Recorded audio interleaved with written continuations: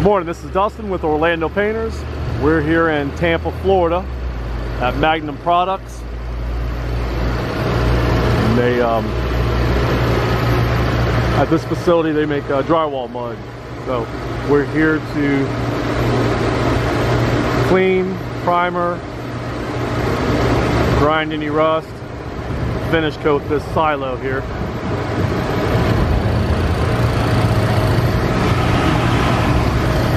There's a lot of cars and trucks in this uh, at this plant, so we got to be super careful with our paint. This this actual silo may uh, may end up just getting actual completely rolled. Show you another angle of it, but yeah, there's a lot of it's like an industrial area in Tampa. There's a lot of plants, a lot of cars around, and it's up in the air a little bit, and it's windy and pretty chilly, so we may have to, to roll this one out. But our finish coat's a two-part polyurethane, and it really smooths itself out, lays down real nice. Plus, we're not worrying about you know, like a factory finish on here.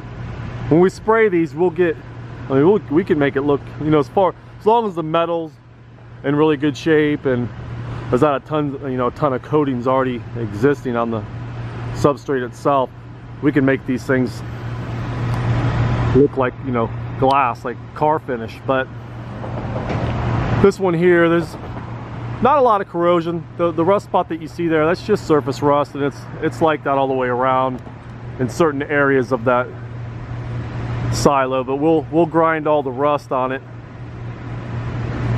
smooth it all out, and then we'll probably, like I said, they're they're more concerned with not getting overspray on anything, so we kind of came to an agreement that we would just roll it all out. Like I said, we that two-part polyurethane finish, it leaves a real smooth finish on it anyway, even when you roll it. So, and they're okay with that. If there's a, the paint's got a little bit of a texture to it because of the, you know, the roller nap itself. But I, we can make it look good, so I'm not too concerned about that. But we'll, uh, this morning we're gonna get started. We're gonna we're gonna do a lot of grinding and uh, pressure washing it. Get it nice and clean first. Truck and trailer over there. I got to pull it over here on the property when they get everything cleared out here. There's another view. Oh, that sun's really bright.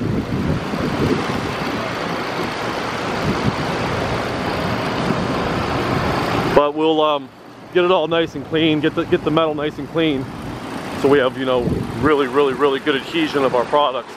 Then we're gonna apply a two-part epoxy primer to the entire tank or silo and then uh, then we'll do our finish coating. But you can see on here it's just pretty much surface rust. We'll put the high reach up on the very very top and look at what's going on on the top of it. Generally on these silos here in Florida the, the corrosion's mostly on the top and I don't know what they have for a, you know, a roof on that thing, if it's pitched or it's flat. Usually when they're flat, you'll always have really bad corrosion because water just sits up on the top and it can't really drain off very well.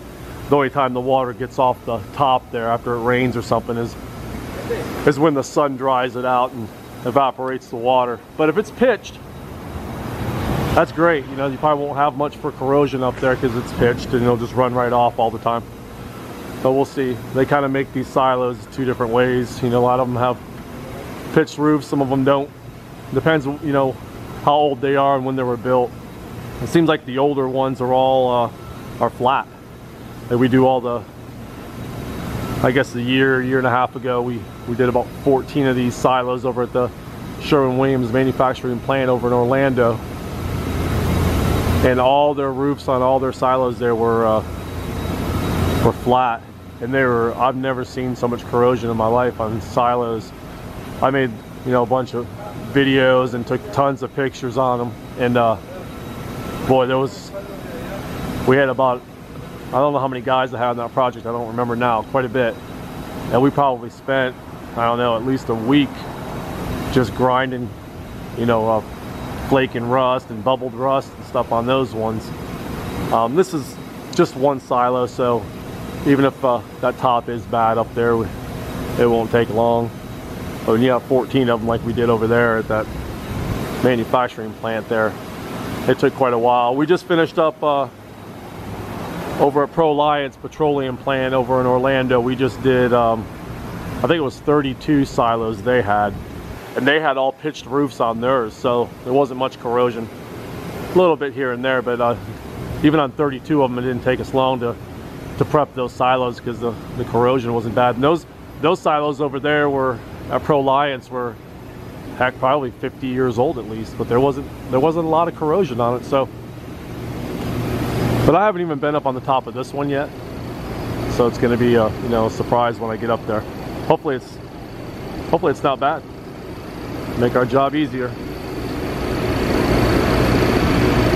But uh, we'll be here for uh, I got I think four or five guys on this project it'll we have to grind it and clean it and that'll take up a whole day and then we'll come back tomorrow and um, and fully prime it and then we'll take off uh, Thursday for Thanksgiving and then we'll get back here on uh, Friday and finish coat it. it. it might get into one more day either Saturday or Monday just to fine tune it and make sure everything's perfect and flawless and you know the customer's super happy but um pretty easy project. No issues. We got uh two high reaches and all our safety equipment and everything so should be no issues at all.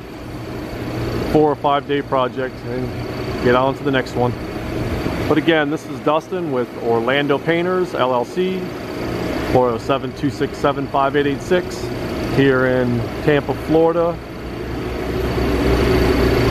we do tons and tons of these silos so I like doing them they're uh, a little bit challenging. Been in the business for 27 years now so you know doing houses or something really uh, nothing to those anymore. So we have a lot of industrial and commercial contracts so I really enjoy doing these and taking on the challenge and figuring out how we're going to do things and all the great Sherwin-Williams specialty products we use. So but again, this is Dustin with Orlando Painters out of Orlando, Florida. www.orlandopainters.net. Thank you and have a wonderful day.